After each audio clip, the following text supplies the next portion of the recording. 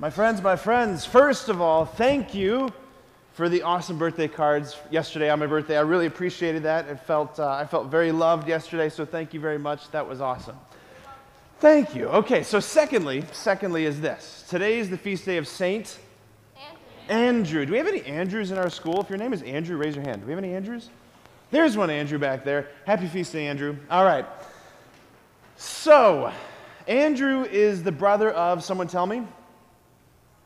Simon. He's the brother of Simon, who's also, whose name is changed to Peter, who becomes our first pope, right? Jesus calls Simon, says, Blessed are you, Simon, son of Jonah, for flesh and blood has not revealed this to you, but my Father. From now on, you are called Peter, and upon this rock I will build my church, right? Peter becomes the first pope. But the person who brought Simon, Peter, to Jesus was Andrew, right? No Andrew, no Peter which is pretty cool. That's why this uh, feast day is so important. Simon and Andrew were fishermen. They were casting their net into the sea.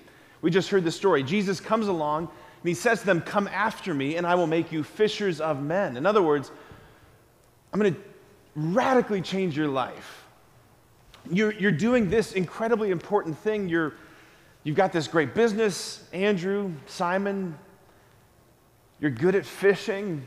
I want to take you and I want to call you into something more. I want to call you into something more.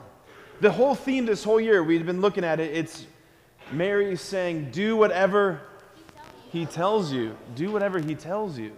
Right? Again, Mary at the wedding feast of Cana, she's talking to the servants. Do whatever he tells you. And it turns out when we do whatever he tells us, life becomes pretty amazing. Amen? Amen? Amen? When we do whatever He tells us, life becomes pretty adventurous.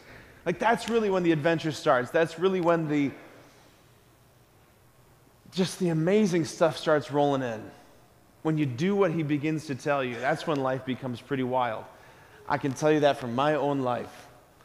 It's true. It's true. Andrew, today, we see that that's what he did. He says, Come after me, I will make you fishers of men. They drop their nets and then they go they go. And the world was completely changed because of this. So we say today is the feast of St. Andrew the Apostle. Andrew the Apostle. I want to look at that word apostle here for a second. I want to talk about this because I think it's really important for us to understand. So the word apostle comes from the Greek word, you're going to learn some Greek this morning, apostellein. Let me hear you say apostellein. Apostellein. It means to send or to be sent. To be an apostle is to be one who is sent, right? The ones who are sent. So, three questions. Three questions. Stay with me. First question sent by whom? Second question sent where? Third question sent in order to do what? Sent by whom? Sent where? And sent in order to do what? So, this first question who's the, who does the sending?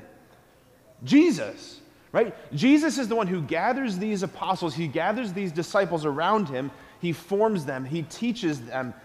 He invites them to see the way that he prays. They experience incredible things by being close to him, and then he sends them out. We see that all throughout the Gospels. He brings them in and then he sends them out two by two at different points to different towns and places to prepare for his arrival. And then at, the, at, and then at Pentecost, right, at, with the Holy Spirit comes down upon them, Jesus ascends back to his Father. He sends them into the world, right? So the apostles are sent by Jesus. And I just gave away the answer to the second question. Where are they sent to? Into what? The world.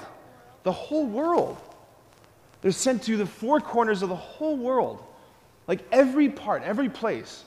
The apostles are sent out. And the last question in order to do what? To proclaim the gospel, to tell people what they encountered, to tell people what they saw. Right? They, they're sent in order to speak, to preach, to teach, to open their mouths and to talk, to share the faith, to express what they've experienced by being friends with this Jesus, to tell people about the resurrection, to tell people about this life, to tell people that, like, friendship with Jesus is better than friendship without Jesus.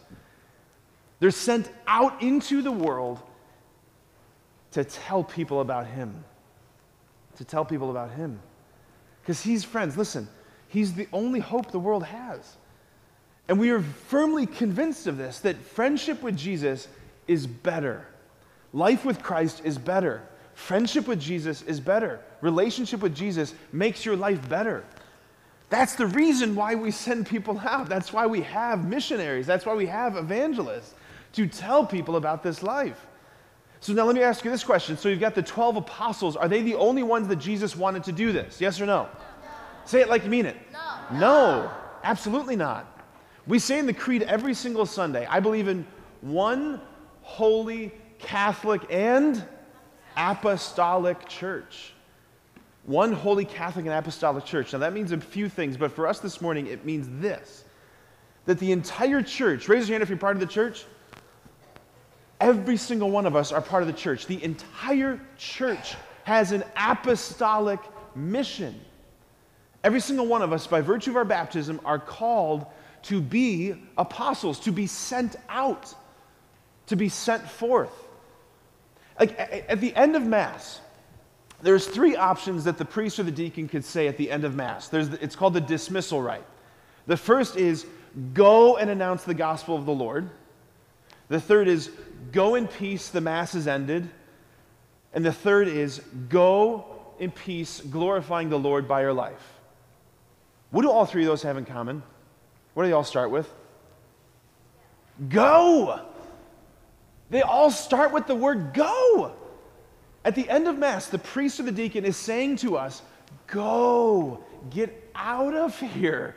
In other words, what you've received here, what you've heard here, what you've experienced here, like relationship with Jesus, encountering Him in the Eucharist, what you've heard in the stories, what you've heard in the scriptures, now go and take that out into the world.